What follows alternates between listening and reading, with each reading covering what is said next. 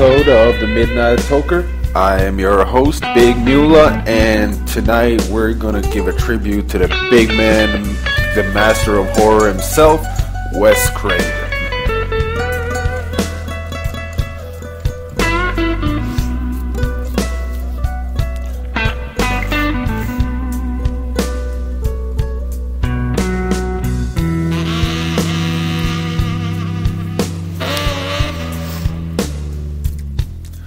Welcome back again. We are back in the motherland, which, yeah, we don't new. Nothing new. Um, just trying to fix my mic a bit here. Stuff you should have done before the program started. Uh, yeah. Uh, this is was supposed to be a celebratory big one with a guest, probably Zach Robinson and everything, you know, but um, life, as it has a tendency to um, intervene, and what we got now is uh, uh, an episode about uh, one of my all-time favorite directors. Um, this is the guy that introduced me to horror. He's the first guy who scared the shit out of me with one of his movies. Uh, he is the one, the only he is Wes Craven. And, uh, and yeah, he passed away two days ago, I think. Yeah, on the 30th of August, 2015. Um, brain cancer, which he has been battling for the past few years. Um, the last thing I saw from him was Scream 4, which I liked, which I enjoyed. So basically, what I am going to do today is just going to go through all of his movies uh, that I have seen and just give you a play by play about my thoughts and sort of my general impression of of Mr. Mr. Craven. Um, so my relationship to Wes Craven goes all the way back to like 1980, probably 87, 88, something like that.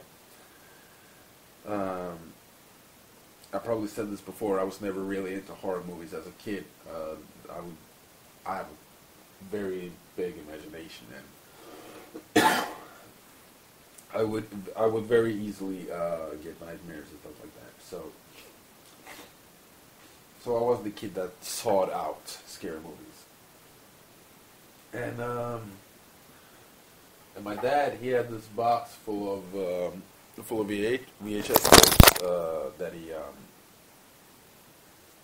that he uh, he wasn't per se selling them, but he was selling them because he's like an antique shopper, kind of like um, those guys on the History Channel that drives around and picks up stuff. He, he kind of does that thing. He's a picker. Oh my god, I'm so fucking stuffed. Um, so, um, so yeah, he had this box full of VHS tapes, and uh, even though I wasn't in, that into horror yet, I was definitely into movies by then, especially because of the covers. I love VHS covers. Um, in later years, I would learn that Drew Struzan was like, uh, he, he did a whole bunch of the ones I liked and um, and actually the one I'm about to talk about now, uh, I don't I don't remember his name, but he did the whole franchise of these VHS covers, and they were just fantastic. And in that box was uh, Freddy's Revenge, A Nightmare on Elm Street 2. Sorry about that. just had to get, get that call done. Um, yeah, well, where was our Freddy's Revenge 2? Yeah, which is not a Wes Craven movie, of course, but um, uh, it is Wes Craven's character, the one, the only, the master of dreams, Sus- suspense, and killing teenagers. Um, Freddy Krueger. And uh, Freddy, as we all know, is one hell of an awesome character, you know. Um, Welcome to the motherfucker that haunted my dreams before I even saw the movie. I didn't see that movie. I just saw the cover, I saw the pictures from it, and that motherfucker was stuck in my head for the next, yeah, for the rest of my life. Uh, it scared the shit out of me back then. I didn't see any of the Elm Street movies actually until I was like 9, 10, 11, around there. Uh, and didn't see all of them until I was 14, 15. So, only bit, only seen the movies like regularly since then, so for the past 15, 16 years, but but you know you did something right when your character just sticks to a person's mind like that. That decide which came from his own mind, his own nightmares, uh, mixed with a bullet from before and a um, scary man standing outside his window. He just caught whatever it is that scares the shit out of kids, which is pretty fucking awesome. Um, actually, also, uh, several years later, when I turned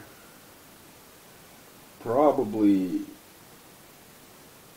probably 11, 12, something like that, or closer to 14.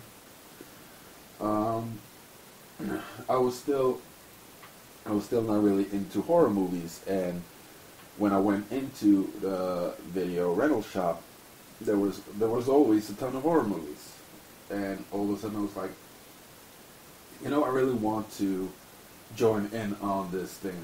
Everybody's watching horror movies. Everybody's loving them. Well, I got to find out what the big thing is.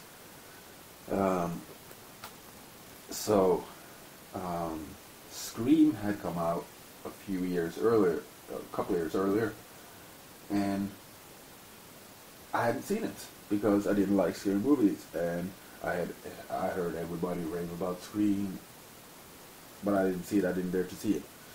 So I rented Scream Two. So I was like, damn, okay, that's the new one. Now I gotta check out what this, what everybody's fussing about. And then I saw Scream 2. And I remember when the movie was done, that was the first time I was like, that was it? Really? Is that a horror movie? And from that point on, and and yeah, I was probably kind of disappointed in the whole in the movie. Uh, a lot of horror movies that I bought, I thought was kind of bad at the time because I didn't really understand the what ma- I didn't really understand the so bad it's good concept. So so I probably wasn't too satisfied, but it did spark my interest in horror movies because, like, damn, if that if that's what a horror movie movie is, I was I would learn later that there's a way worse. But um, but yeah, that it sparked my interest in just watching all of them. And since then, you know, I've I've gone crazy I watch everything that has to do with horror in some way or fashion. Uh, older stuff I do watch.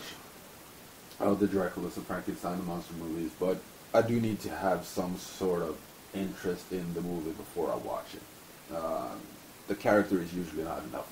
It has to be like, oh, Christopher Lee's Dracula movies. Oh, um, Peter Cushing and something. Um,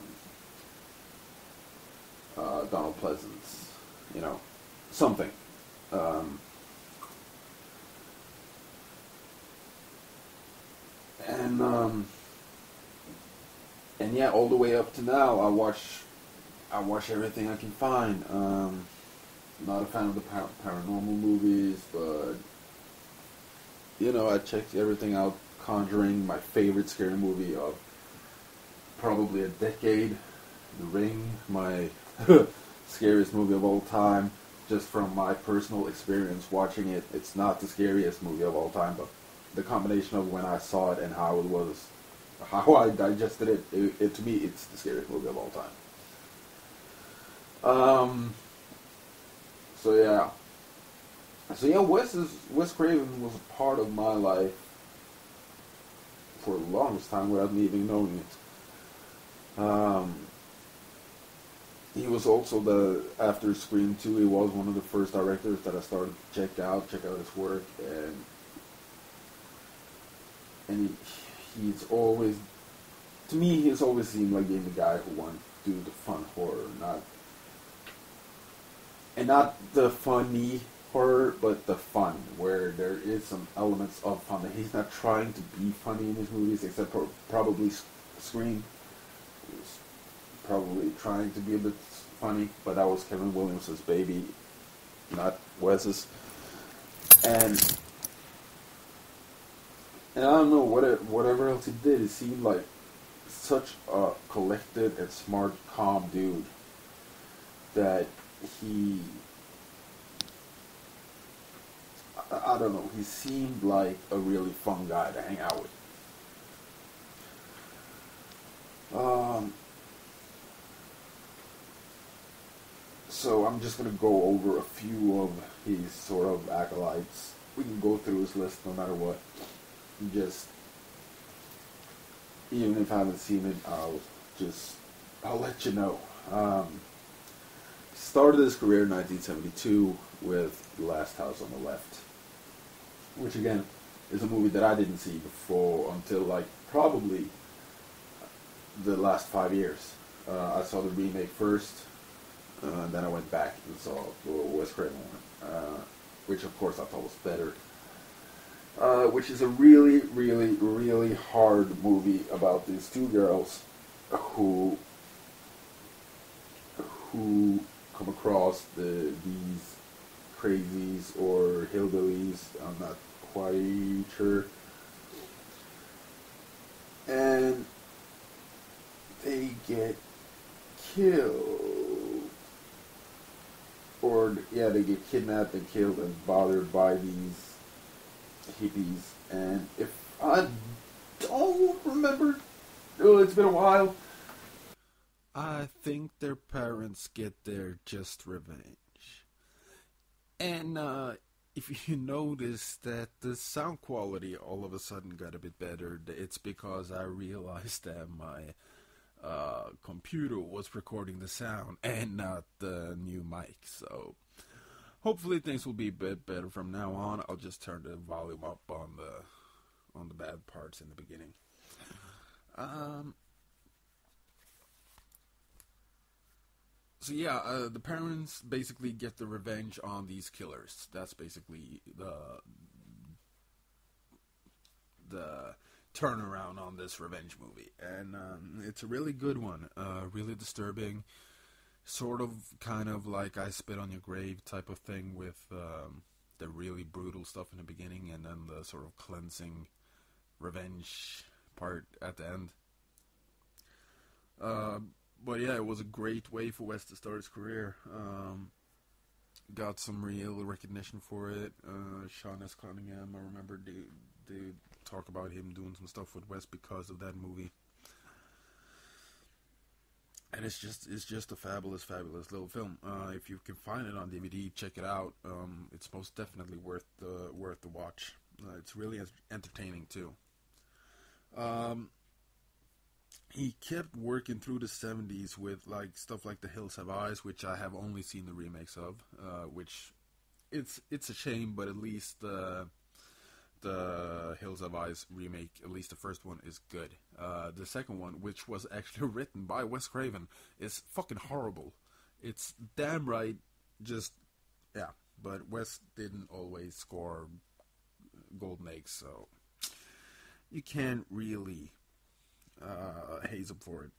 Uh, in '78, he did a TV movie called uh, The Summer Affair, and then he did Deadly Blessing in 1981. Then he went and did a, a, a comic book movie and did Swamp Thing in 1982. Invitation to Hell, 1984, and none of these movies have I seen. You know, this is just for you to like, oh, really? He did a Swamp Thing movie? So, cool. Uh, following up in 84 with the sequel to The Hills Have Eyes, and then in 84, finally, after pushing the concept around for years and years and years, and going to every studio head that would open the door, and getting every no in the face that you can, uh, he went and made uh, Nightmare on Elm Street, which is just a fabulous movie. Um, it still has the scares in it. Uh, I'm not. It's not my favorite uh, nightmare movie personally, but probably because they hadn't really found the character yet. But all the iconic scenes, the glove in the water, um, the the stretching of the arms, the take, pulling his face off, uh, the movie introduced Johnny Depp to the world. You? You just think about it. This movie introduced Johnny Depp to the world. This little fuck of a scary movie is the reason that you're watching Jack Sparrow today. This is the movie that people saw him in and was like, yeah, we want him in our movie. I'm pretty sure that this was even before 21 Jump Street. Um, checking, I'm checking, but I'm pretty sure. Yep, there was. This was actually a full two, three, four, five years before Jump Street.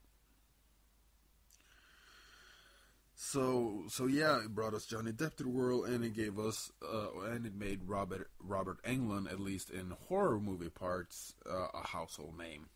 Um, it brought the swag and the gangster and the, the loveliness that just is Robert Englund, and he's one of my favorite actors of all time. Uh, he seems to be a truly genuine guy. He's always into doing whatever with people as long as they're passionate about their idea again. And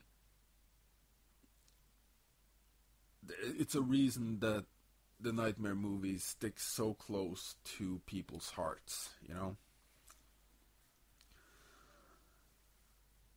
Um, but of course, Craven didn't want to continue with the franchise because he felt like the scary idea was done and finished in the first movie, which you could, you can argue for and against that.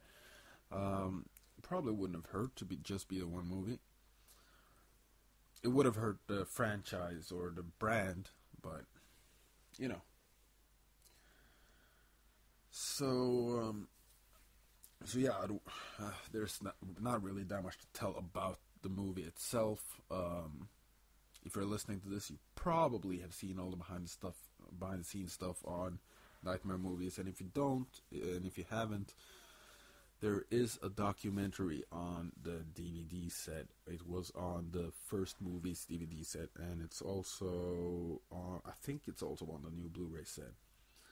Um, it's called Freddy Com- Freddy's Coming for You or something like that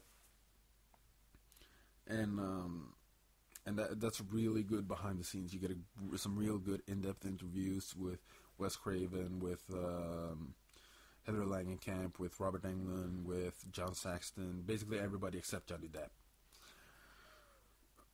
And it's, it's really, really good. Or if you want to go really, really, really, really in depth, you go on you go on uh, in your, to your local DVD shop or online or whatever, and you buy uh, Never Sleep Again, which is the most complete documentary on Nightmare on Elm Street franchise, which is a four-hour-long documentary, like going through all the movies. So that that's really worth watching. Um, but yeah, our friend Wes C, of course, moving along. Had to do some stuff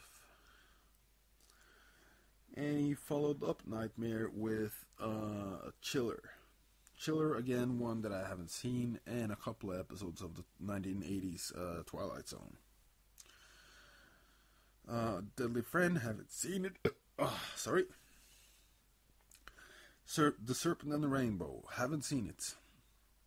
Shocker, this is the one that hurts me to say I have not seen it. Um, I hear a lot of good things about it but I have not gotten around to see it yet. I'm pretty sure. I might have, but I'm pretty sure I haven't seen it yet. I don't remember it at least. Um, the People Under the Stairs I have not seen. and then of course we get to the movies I have seen. Um, we starting starting with 1994's New Nightmare, uh, the seventh in the Nightmare franchise. Um, Ten years since the last one he did. Um, he did write number three, but he he doesn't have his name on it. New Nightmare is Wes Craven's reimagining of his original concept, where he takes uh, the concept of this that Freddy is this real life demon. He is not Freddy Krueger, but he is the real life equivalent of a dream demon. And the only way you can suppress the dream demon is to put him into stories. Say, in ol older days, it would be in books, and then all the way up to movies. And that's what he did when he made the Nightmare on Elm Street movie. And through the, uh, I don't know what you call it, the, the generalization, the uh, this desensitization of of the masses when it came to Freddy over the last last movies from two to six, where they basically turned him from a evil man to a clown. That loosened the character's grip on the demon, and New Nightmare is about Wes Craven, Heather Langenkamp, and Robert Englund trying to not necessarily get another movie made, but doing something to keep suppressing this demon. And when they don't, the demon in the shape of Freddy comes to the real world. And it's a fucking brilliant, brilliant movie. I love it. I love it to death. It's really, really fun. Next one is one I haven't seen in a long fucking time. I, I own it. It should be here somewhere in my vastness of DVDs, but uh, Vampire in Brooklyn, which is a movie I loved when I first saw it as a kid. I thought it was fucking awesome. Um, one of the last, from what I, again, my standard, one of the last good Eddie Murphy movies. A lot of people are hating on this movie. There's probably reasons I haven't seen it in years, but I, I, I remember liking it. I've never had any problem with it. Uh, okay, and the Scream trilogy, I love one. I love two. I love, uh, probably not three. Um, I, I can't really give it that big of an in-depth behind the scene of Scream because I don't really know all that much about the behind the scenes of Scream. Um, I know that Wes was the he wanted to flip flip something again, tried to change the way horror movies were made. In my opinion, it went a step too far. Uh, and all of a sudden, every movie after was doing it, and it made a lot of post 1996 horror movies feel like Scream copies, and that that was a bad thing. Because Scream was really the only one who did it sort of kind of right.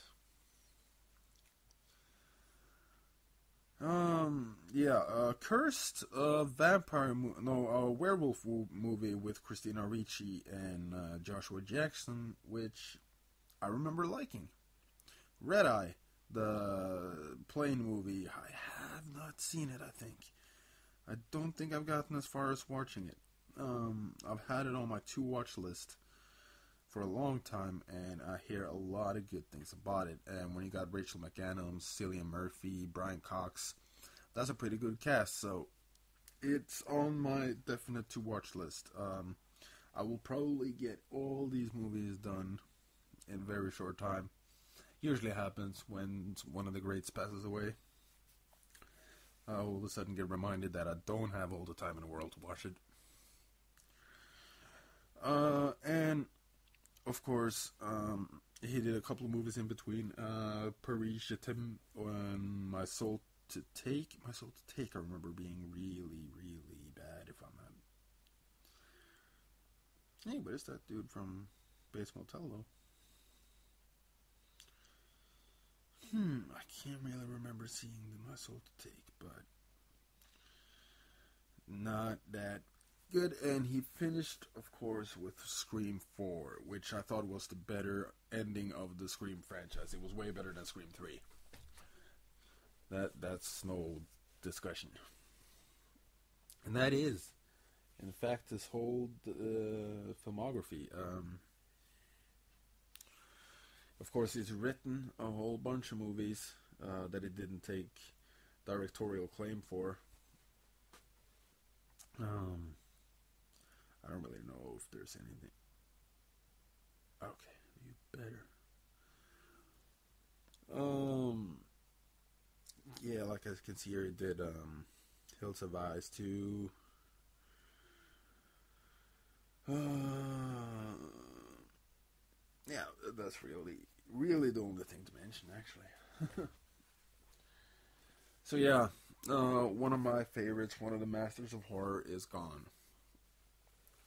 Um, my condolences to his family, his friends, to anybody who might be listening who had any sort of connection to him. Uh, he was he was one of my favorite people in the movie industry, and that never changed. Um, he gave a, he gave me Freddy, he gave me Scream, like only just just that is more than so many other people. It's it's it's just baffling. Um. Yeah, I'm really. It's really sad, and my big twentieth episode was going to be this, but you know, it shows that life moves. It doesn't really plan for my podcast schedule. Um,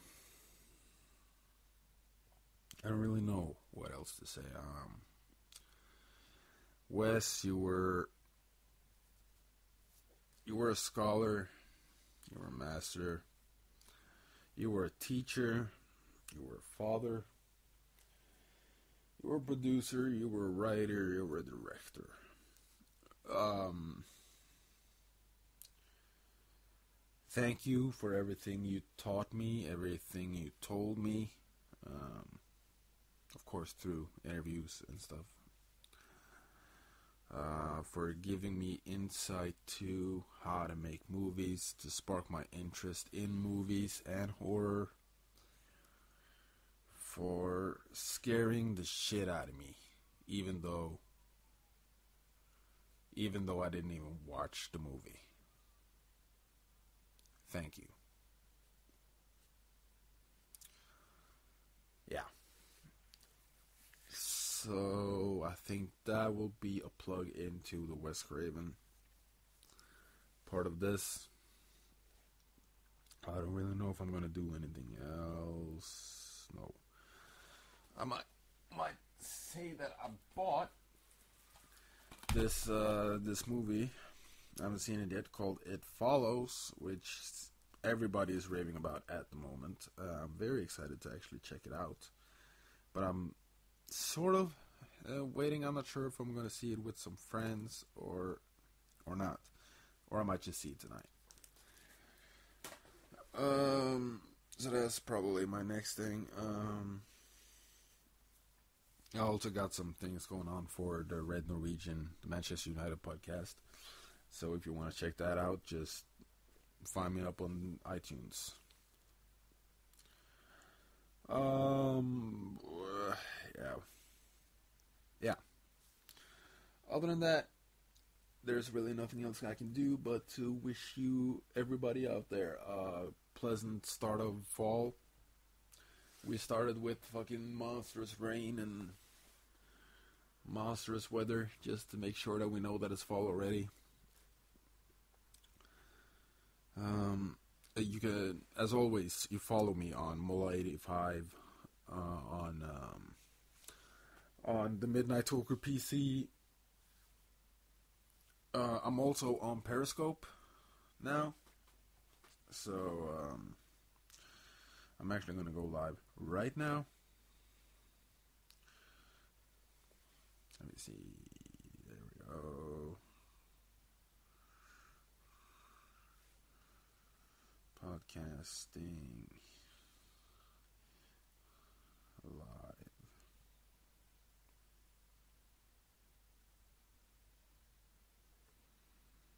Mm, there we go. There we go.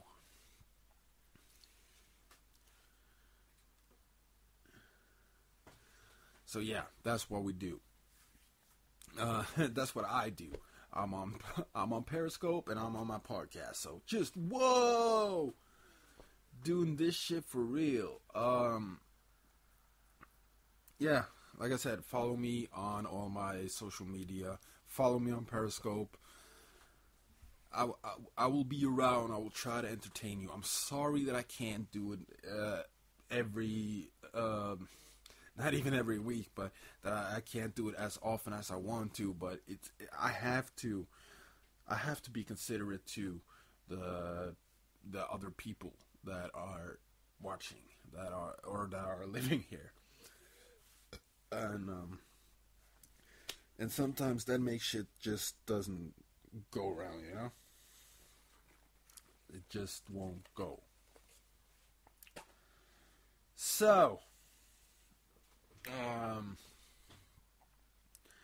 next one will be pretty fucking soon. I'll just keep going, keep fucking talking about movies and comics and shit. We got a lot of stuff. We got a lot of news burgeoning. I also want to get that GTA 5 podcast or GTA Online podcast going. Uh, at least an episode on this. Um, that that would be that would be pretty cool. Even though I feel like I'm pretty much done with GTA Online by now. Came back from the holiday, I barely played it. Uh, can't seem to have any interest for it. So I don't know. I don't know where it's gonna go. What we're gonna do. Um, yeah.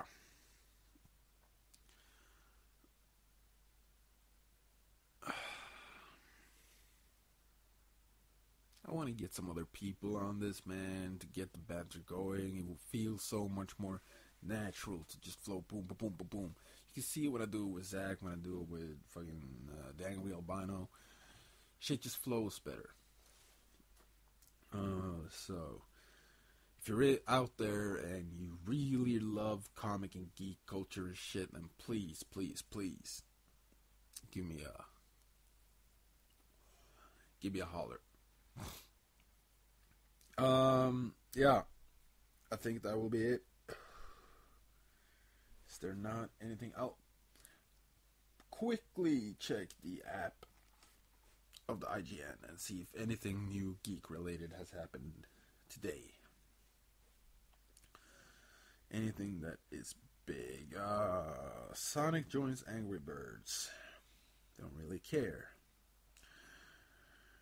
Oh, geez, the Russian gas man important. Joe. A robot on Earth based. Whoa. Gotham Season 2 Villains Rise new trailer. Yeah, this Gotham thing with their fucking teasing of the Joker. I'm sorry. When you got a guy called Jerome sports the Joker laugh over and over and over and over again. How are you teasing that this is the Joker?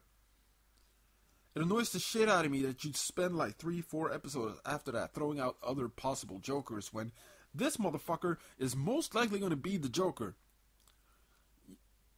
Or are you thinking you're doing like Arkham Knight? You know, ooh.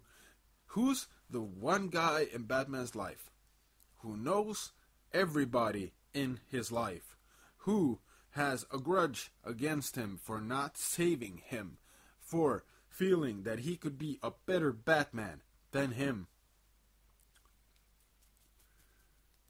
Going through the Batman canon, it has to be Jason Todd. The Red Hood, you know? Even though the only way, the only reason that people was like, man, I'm not, I'm not sure if it is Jason, was because of the Red Hood story that we all know. So you're gonna say that this isn't the Joker. The fucker that is smiling like the motherfucking Joker. That's not the Joker. Okay, I'm gonna. Okay, whatever. That's the Joker. Um, let me see. PS4 beta begins today. 3D printed uh, gummies. Yeah, nothing much really to talk about today. So, to finish it off, this has been another episode of the Midnight Toker.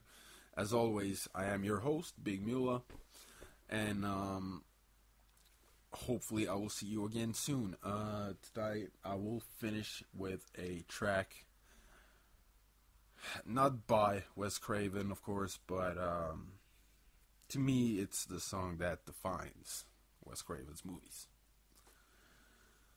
I will see y'all on the next one. Please follow me, Mula85, Midnight Toker PC, all that stuff on Twitter. You find me on Periscope. You find me on Facebook, on YouTube.